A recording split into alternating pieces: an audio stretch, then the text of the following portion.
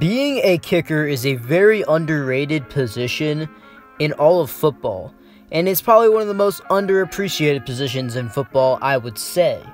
And in the NFL, a league which is literally a make it or break it league, where if you don't perform, you're out of the league just like that, is especially true for kickers. For instance, if you're a veteran kicker in the NFL, and you're known for being a good kicker and you have a couple bad games in the season, you're not going to be cut immediately. But for the case for a lot of NFL kickers in the league, which are young, unproven people, they don't always do the best. A lot of them actually fail quite hard and have bad games. And if you have one bad game as an unproven kicker, you're more than likely going to be cut the next day. It happens all the time in the NFL. And today, I'm going to talk about someone that was an amazing college football kicker and probably one of the best college football kickers of all time in the modern age of college football in Roberto Aguayo. To start off the story about Roberto Aguayo, we're going to take it all the way back to Southlake High School in Florida where he was actually a five star kicker in the 2012 recruiting class, according to Kohl's Kicking Camps. And here's his bio on him is the ball explodes off the foot, extremely athletic and smooth. Won underclassmen challenge on kickoff and showed well on field goals in 2010. D1 ready right now. Super focused, gamer, talented, handles pressure, can also punt, kicks well off the ground, special kid, has proven himself multiple times, and can hit 80 to 85 yard kickoffs and he would end up committing to Florida State University. In Roberto Aguayo's freshman season at Florida State in the 2012 college football season, he would end up redshirting. In Roberto Aguayo's redshirt freshman season at Florida State for the 2013 college football season, he would be named the starting kicker for the Seminoles. He appeared in all 14 games and he made 100% of his extra points and he was on fire with the field goals as well, only missing one, making about roughly 96% of his field goals on the season, and he put up the most points he ever did in his whole college football career, which was 157 points.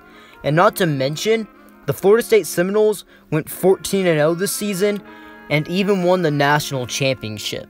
Also, in this season, Roberto Aguayo would win the Lou Groza Award, and I know I probably butchered that, and all I can say is sorry. In Aguayo's redshirt sophomore season in the 2014 college football season, he would be the starting kicker yet again, which was not a surprise, and he would make 100% of his extra points yet again. And although his percentages went down for the field goal, it was still really good. He made 90% of his field goal attempts, only missing three. And this season, he would put up a total of 136 points. Florida State this season would end up going 13 and 1 in the 14 games they played after having a round one exit in the college football playoff the first year it was played to Oregon. In the 2015 college football season for Florida State, Roberto Aguayo, who was now a redshirt junior, would probably have his worst season of kicking. He would not miss a extra point yet again. He would make 100% of them for the third year in a row.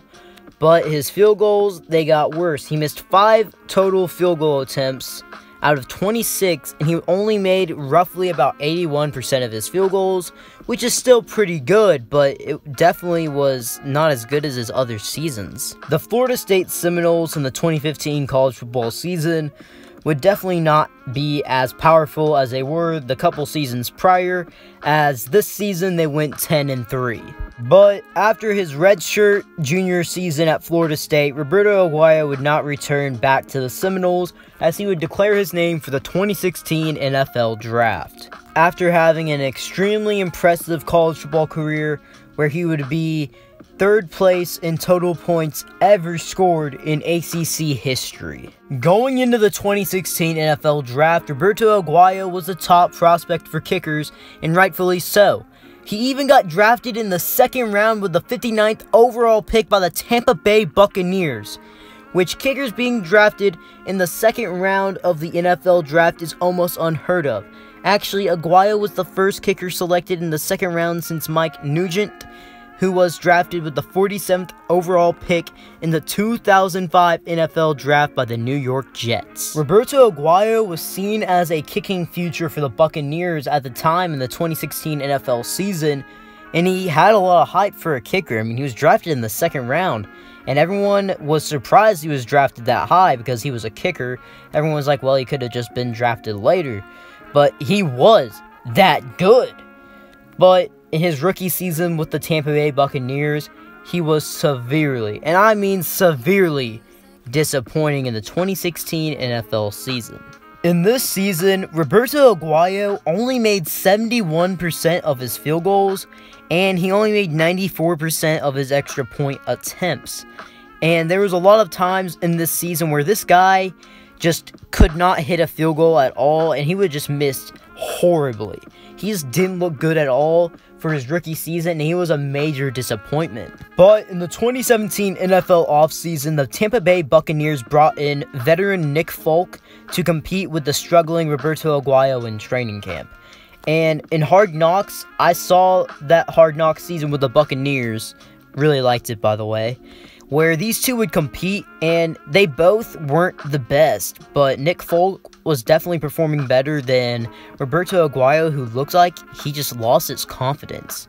And in the first game of the preseason for the 2017 season, Roberto Aguayo missed a 47 yard field goal and an extra point attempt, and he would be released shortly after that game and his time as a Buccaneer was over, and he was seen as a bust. Shortly after being released by the Tampa Bay Buccaneers, Roberto Aguayo would be picked up by the Chicago Bears for the remainder of the preseason. But he would not make the final roster and he would be cut since he was very inconsistent with the Bears as well. Near the end of October in the 2017 NFL season, Aguayo would be picked up by the Carolina Panthers to be on their practice squad, but he would be released on December 12, 2017. In the 2018 NFL offseason, Aguayo would be signed by the Los Angeles Chargers, where he would sign to a reserve slash future contract with them. And he was really good during the preseason. He made three out of three of his field goals and went six for six for extra points, and even kicked a game winning field goal in the Chargers' final preseason game, but it wasn't enough for Aguayo as he would be released on September 1st, 2018 after losing the job to Caleb Sturgis. Roberto Aguayo has not kicked for any team since then. Although Roberto Aguayo is definitely one of the best college football kickers of all time in the modern age of college football, his NFL career was an utter disappointment. And in my mind, I think it's because of all the pressure and hype that he had in going into his rookie season and that he really couldn't just handle it. He got off to a really slow start with the Tampa Bay Buccaneers to start off his rookie season, and it kind of just stuck with him his whole career because when you're a kicker, this is just what I've heard of. I'm not a kicker, I've never been a kicker, I suck at kicking footballs, I suck at kicking soccer balls. It's just the way I've been my whole life. Can't help it, don't care. But the thing I've heard about kickers is that it's really mental. And once you start missing a bunch of field goals, you're going to be out of your groove, and it's really hard to get out of that groove because once you start missing a bunch of field goals, it weighs on your mind heavily. Especially if you're an NFL kicker where everyone expects you to make 100% of your kicks and you're constantly being watched by the owners, the GMs, and even the fans who are ruthless. And definitely the fans on Twitter, they did not have any disregard for this guy at all. They hated Roberto Aguayo. But all I gotta say about Roberto Aguayo's NFL career is it just really seemed like he had the yips. He just couldn't make field goals anymore the way he did, like he did in college, which it is a lot harder to make an NFL field goal. The goals are thinner than they are in college, but Roberto Aguayo in the NFL just seemed like he lost his confidence, and I feel like I saw this in Hard Knocks when they were in Tampa Bay. He just didn't seem confident at all. The dude looked like he was getting clowned on by everybody, his teammates. Not even his own teammates expect him to make field goals in the preseason with the Buccaneers. How would you think you would do at that point where your teammates don't even think you can make a field goal and your only job is to make field goals. Well, guys, that's all I have today for what happened to Roberto Aguayo. If you guys liked the video, remember to smash that like button, turn on them post notifications, and subscribe for more videos. B. Kelly out.